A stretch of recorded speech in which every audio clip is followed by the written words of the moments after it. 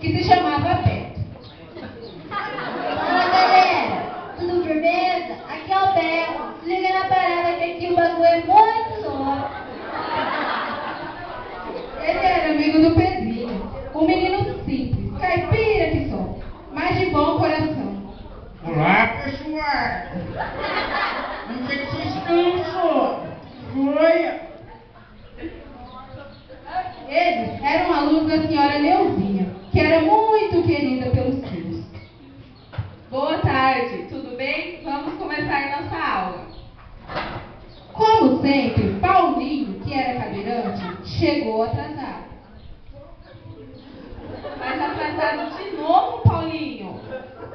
É, tia Neuzinha, nunca acho um ônibus com vaga para cadeirante, por isso demoro tanto para chegar. Fala tia, fala Zé Rodinha. Levanta daí, vamos apostar uma corrida.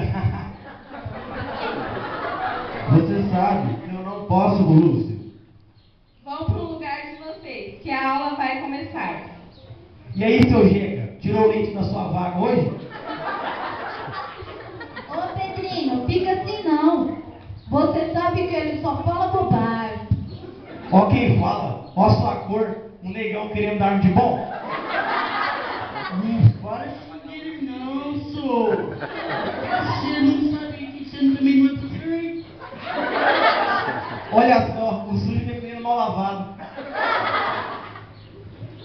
Gente, vão parar de briga. E você, fica quieto, seu aleijadinho.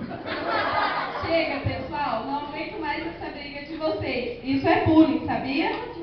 Bullying? Isso a minha mãe usa pra fazer café em casa.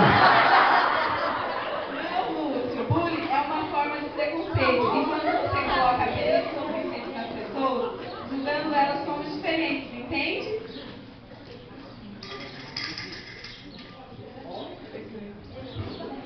No dia seguinte, Boa tarde, crianças. Cadê o Paulinho? Tô chegando, professor.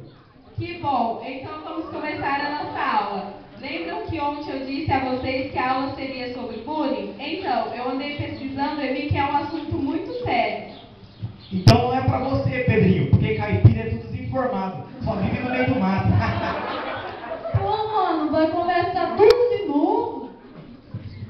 Silêncio, convidei uma pessoa muito especial para falar sobre o bullying. Boa tarde, gente. Meu nome é Miguel e tenho 30 anos e sou cego há mais de 10 anos. Já sofri muito preconceito, por isso, e vim aqui falar sobre esse assunto com vocês. O bullying acontece em todo lugar, no trabalho, em casa e principalmente nas escolas e faculdades.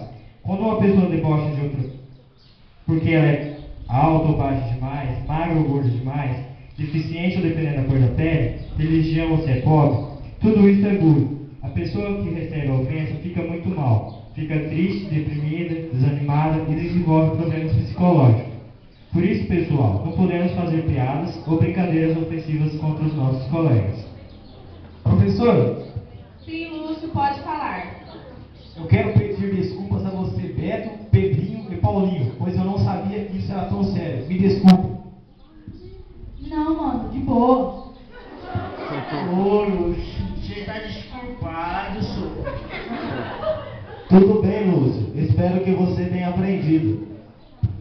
Que bom que vocês aprenderam.